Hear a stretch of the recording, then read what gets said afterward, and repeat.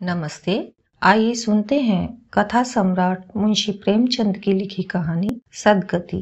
दुखी चमार द्वार पर झाड़ू लगा रहा था और उसकी पत्नी झुरिया घर को गोबर से लीप रही थी। दोनों अपने अपने काम से फुर्सत पा चुके तो चमारिन ने कहा तो जाके पंडित बाबा से कह आओ ना, ऐसा न हो कि कहीं चले जाएँ दुखी। हाँ जाता हूँ, लेकिन यह तो सोच, बैठेंगे किस चीज़ पर? झुरिया कहीं से खटिया न मिल जाएगी, ठकुराने से मांग लाना। दुखी, तू तो कभी कभी ऐसी बात कह देती है कि देह जल जाती है। ठकुराने वाले मुझे खटिया देंगे? आग तक तो घर से निकलती नहीं, खटिया देंगे। कह थाने में जाकर एक लोटा पानी मांगू तो न मिले। भला खटिया कौन देगा? हमारे उपले सैठे भूसा लकड़ी थोड़े ही हैं कि जो चाहे उठा ले जाए। ला अपनी खटोली धोकर रख दें गर्मी के तो दिन हैं, उनके आते आते सूख जाएगी। झुरिया, वह हमारी खटोली पर बैठेंगे नहीं, देखते नहीं कितने नेम धर्म से रहते हैं। दुखी ने जरा चिंतित होकर कहा हाँ यह बात तो है।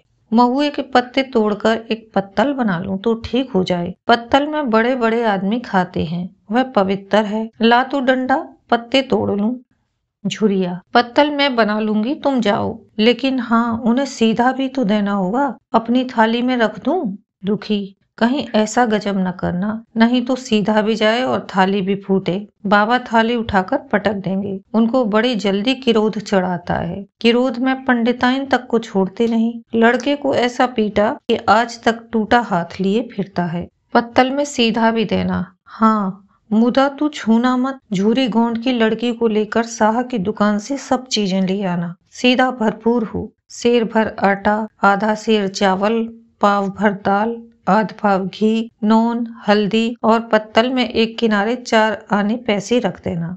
गोंड की लड़की न मिले तो भुर्जिन के हाथ पैर जोड़ लेना। तू कुछ मत छूना, नहीं तो गजब हो जाए इन बातों को ताकीद करके दुखी ने लकड़ी उठाई और घास का एक बड़ा सा गट्ठा लेकर पंडित जी से अर्ज़ करने चला।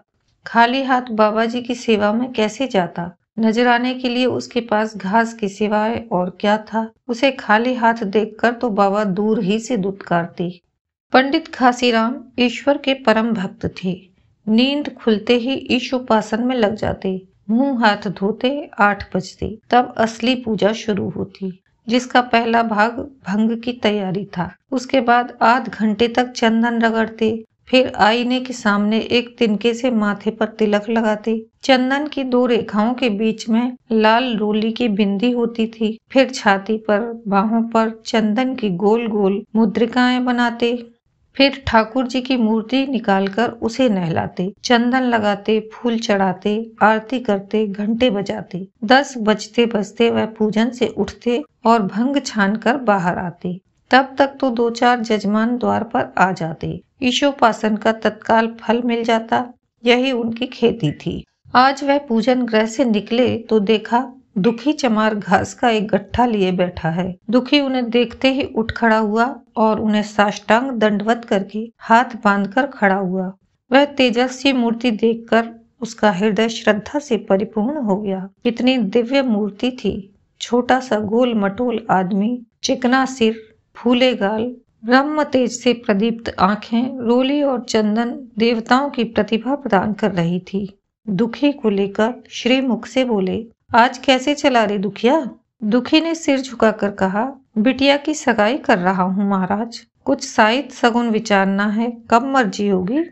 घासी, आज मुझे छुट्टी नहीं। हाँ साँझ तक आ जाऊँगा। दुखी, नहीं महाराज, जल्दी मर्ज़ी हो जाए। सब सामान ठीक कर आया हूँ। यह घास कहाँ रख दूँ? घासी इसे गाय के सामने डाल दे और जरा झाड़ू लेकर द्वार तो साफ़ कर दे। यह बैठक भी कई दिन से लीपी नहीं गई। उसे भी गोबर से लीप दे। तब तक मैं भोजन कर लूँ, फिर जरा आराम करके चलूँगा। हाँ यह लकड़ी भी चीर देना। खलिहान में चार खांची भूसा पड़ा है, उसे भी उठा लाना और भूसौल में रख देना। दुखी फ़ौरन हुक्म की तालीम करने लगा। द्वार पर झाड़ू लगाई, बैठक को गोबर से लीपा, तब तक बारह बज गए। पंडित जी भोजन करने चले गए। दुखी ने सुबह से कुछ नहीं खाया था। उसे भी ज़ोर की भूख लगी।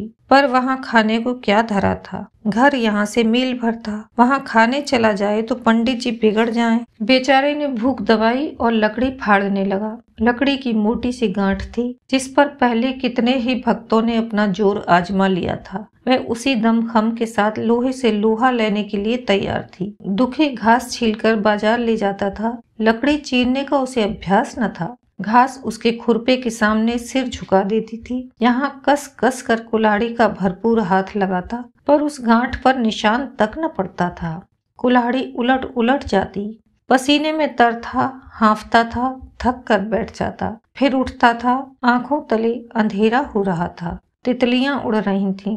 फिर भी अपना काम किए जाता था। सिर में चक्कर आ रहे थे।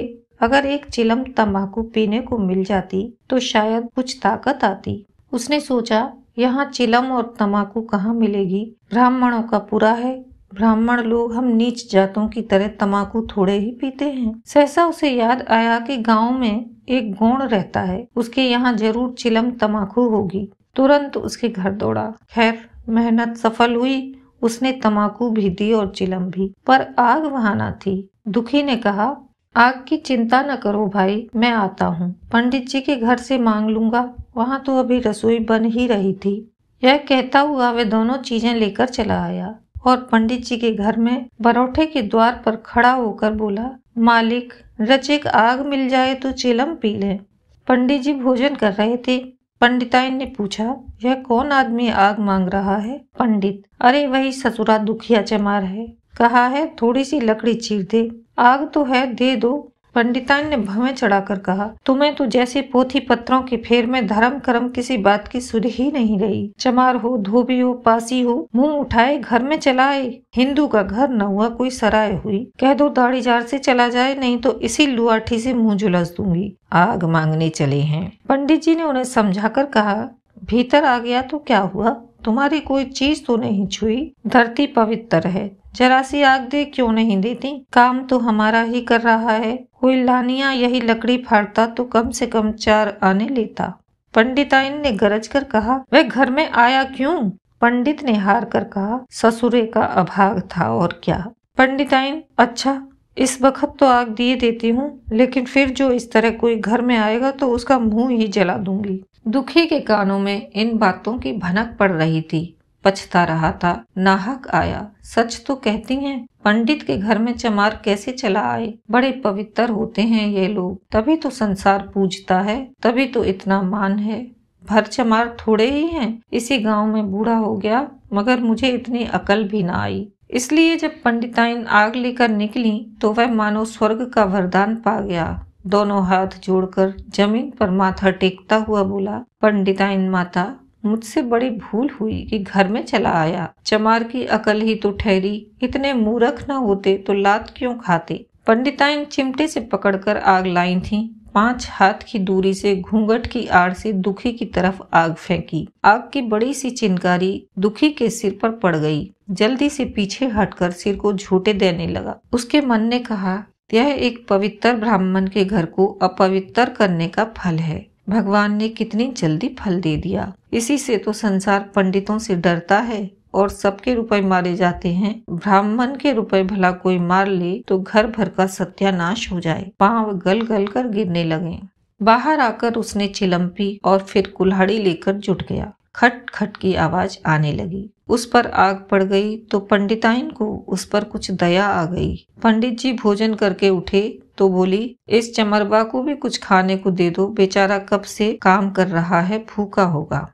पंडित जी ने इस प्रस्ताव को व्यवहारिक क्षेत्र से समझकर पूछा, रोटियाँ हैं? पंडिताइन, दो चार बच जाएँगी। पंडित, दो चार रोटियों में क्या होगा? चमार है, कम से कम शेर भर चढ़ा जाएगा। पंडिताइन कानों पर हाथ रख कर बोली, अरे बापरे शेर भर? तो फिर रहने दो। पंडित जी ने अब शेर बनकर कहा कुछ भूसी चोकर हो तो आटे में मिलाकर दो ठो लिट्ठ ठोंक दो। साले का पेट भर जाएगा। पतली रोटियों से इन नीचों का पेट नहीं भरता। इन्हें तो जुआर का लिट्ठ चाहिए। पंडिताइन ने कहा, अब जाने भी दो, धूप में कौन मरे? दुखी ने चिलम पीकर फिर कुल्हाड़ी संभाली। दम लेने से जरा हाथों में ताकत आ गई थी। कोई आध घंटे तक फिर कुल्हाड़ी चलाता रहा। फिर बेदम होकर वहीं सिर पकड़ के बैठ गया। इतने में गौड़ आ गया। बोला, क्यों जान देते हो बूढ़े दादा? तुम्हारे फाड़े या गांठ न फटेगी। नाहक हलकान होते हो। दुखी ने माथे का पसीना पहुँच कहा, अभी गाड़ी पर भूसा ढोना है भाई। गौण, कुछ खाने को मिला के काम ही कराना जानते हैं। जाके मांगते क्यों नहीं? दुखी, कैसी बात करते हो चिखुरी? ब्राह्मण की रोटी हमको पचेगी? गौण। पचने को पच जाएगी। पहले मिले तो मूछों पर ताव देकर भोजन किया और आराम से सोए। तुम्हें लकड़ी फाड़ने का हुक्म लगा दिया। जमींदार भी कुछ खाने को देता है। हाकिम भी बेगार लेता है तो थोड़ी बहुत मजदूरी दे देता है। यह उनसे भी बढ़ गए। उस पर धर्मात्मा बनते हैं। दुखी। धीरे धीरे बोलो, भाई, कहीं सुन लें तो आफत आ जाए। यह कहकर दुखी फिर संभल पड़ा और कुल्हाड़ी की चोट मारने लगा। चिखुरी को उस पर दया आई। आकर कुल्हाड़ी उसके हाथ से छीन ली और कोई आध घंटे खूब कस कस कर कुल्हाड़ी चलाई। पर गांठ में एक दरार भी न पड़ी। तब उसने कुल्हाड़ी फेंक दी और यह कहकर चला गया, तुम्हारे फाड़े यह न फटेगी। जान भले निकल जाए। दुखी सोचने लगा बाबा ने ये गांठ कहाँ रख छोड़ी थी कि फाड़े नहीं फटती? कहीं दरार तक तो पड़ती नहीं। मैं कब तक इसे चीरता रहूँगा?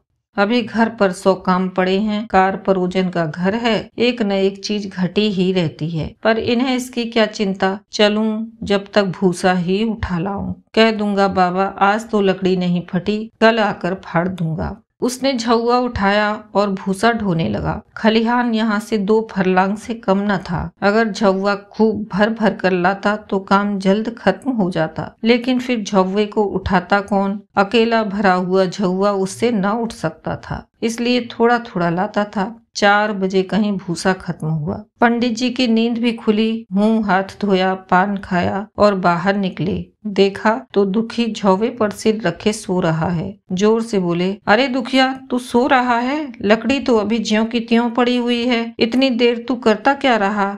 मुट्ठी भर भूसा ढोने में संझा कर दी, उस पर सो रहा है। उठा ले कुल्हाड़ी और लकड़ी फाड़ डाल। तुझसे जरा सी लकड़ी नहीं फटती। फिर शायद भी बैसी निकलेगी। मुझे दोष मत देना। इसी से कहा है कि नीच के घर में खाने को हुआ और उसकी आँख बदली। दुखी ने फिर कुल्हाड़ी उठाई। जो बातें पहले से सोच रखी थी, वह सब भूल गईं। पेट पीठ में धसा जाता था। आज सवेरे जलपान तक न किया था। अवकाश ही न मिला। उठना भी पहाड़ मालूम होता था। जी डूबा जाता था, पर दिल को समझाकर उठा। पंडित हैं, कहीं शायद ठीक न विचारे तो फिर सत्यानाश ही हो जाए। तभी तो संसार में इतना मान है, शायद ही का तो सब खेल है, जिसे चाहे बिगाड़ दें।